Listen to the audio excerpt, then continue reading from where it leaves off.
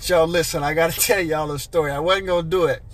I was at the 4th of July events tonight in Collegedale, hanging, handing out palm cards, introducing myself to people, just enjoying the event. I walk into the pavilion I see this sweet old lady in a chair all by herself near the door. No one was talking to her. She just kind of sitting there observing. And then she looks up at me and she reaches out and she grabs my hand and says, I know you. And starts this big old smile.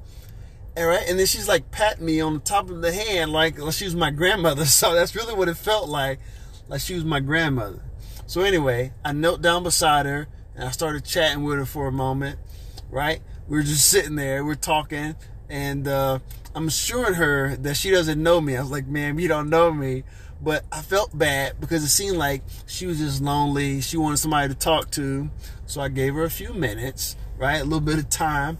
And my campaign manager, she was just kind of standing off in the distance, waiting for me to get up so we could keep going.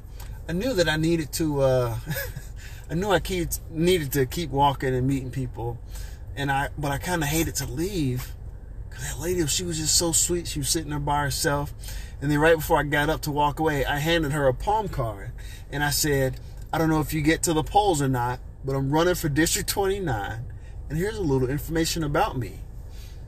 If you would, please consider supporting me in September. She looked down at my card and then looked in my eyes and started smiling even bigger. Then she said, You will never believe who I am. I asked her, I said, Who are you? She said, I am Greg Vital's mother. Oh my God. Needless to say, I like, I took my card, I grabbed my card back. I gave her a little side hug, a little church hug. I said, it was nice to meet you. And then I walked off.